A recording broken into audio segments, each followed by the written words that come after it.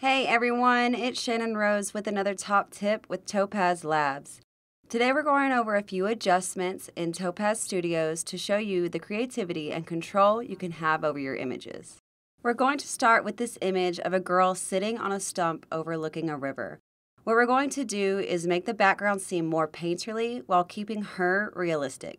This way it looks as if she was dropped into a painting.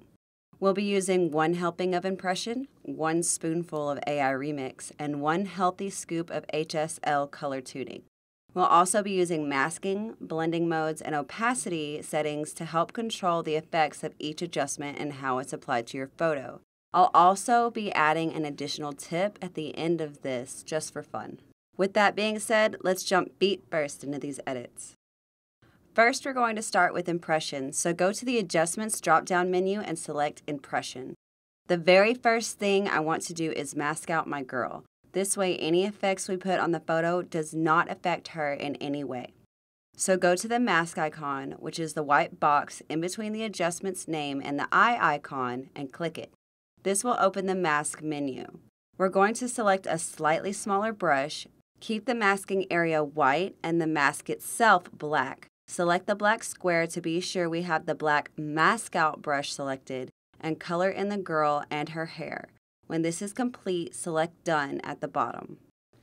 Now we'll get into the adjustment settings. Select the first brush in the brush application grid and apply it to this image. I want this to look like an acrylic painting and be a little bit messy at the same time, but first we're going to get into our brush settings. The number of strokes I want applied is medium, brush size is 0.53, paint volume is 0.18, and paint opacity is 0.50. These settings allow you to control the amount and intensity of the paint applied so you can see the detail of the paint strokes by choosing if you want a bigger brush or smaller brush. This also allows you control over the amount of detail applied to the image. Let's go ahead and finish this up. The stroke length is 0.29, the spill is 0.29, smudge is 0.09, and coverage is 0.74. I really love playing with these settings because it allows you to control the messiness of the paint and how it interacts with the photo. Next, we'll go into the lighting drop-down menu below this section at the bottom of this adjustment menu. This will give the image a more vibrant feeling like you often get with acrylic paintings. Brightness is negative 0.07, contrast is 0.19, highlight is 0.14, shadow is negative 0.24, and I'm going to add a little bit of vignette at 0.14. We're also going to add a little bit of texture to give this image a canvas feeling to play more on the idea of making this more and more like an acrylic painting in the background. The texture we're going to select is in the third row and second column. So for the texture strength, we're going to put 0.40 and texture size 0.39. This gives the image a subtle underlining texture to resemble a canvas, which adds to the effect of this being two separate images spliced together. Woo! Now that we're through all of that, let's bring the opacity to 0.71 and let's move on to the next adjustment. The colors still seem a little muted to me, so we're going to add an AI Remix adjustment to add a little bit of texture and bring some life to this color.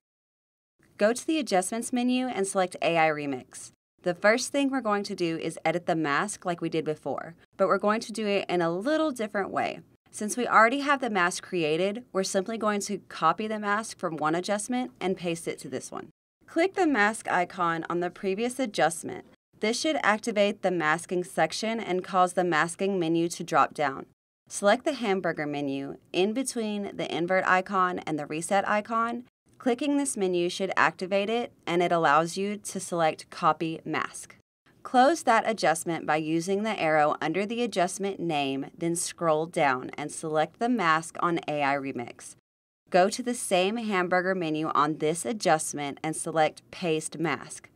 This time we're going to add a little bit to this mask. Select a gray brush and brush in the tree stump. That way the adjustments don't fully affect this area, but there's still a little bit of this adjustment showing through. After completing this, close the masking menu by clicking Done. Now we can go into the actual settings of this adjustment. The style we're going to choose is in the fifth row, second column, and it looks a little bit like a pasture. Go ahead and click it. This should apply the style directly to your image. We aren't going to do too much to the settings, so close the drop-down menu and go into the opacity. We're going to set our opacity to 0.37 and the blend mode to color. This allows AI Remix to adapt better to the colors of the image and the previous adjustments.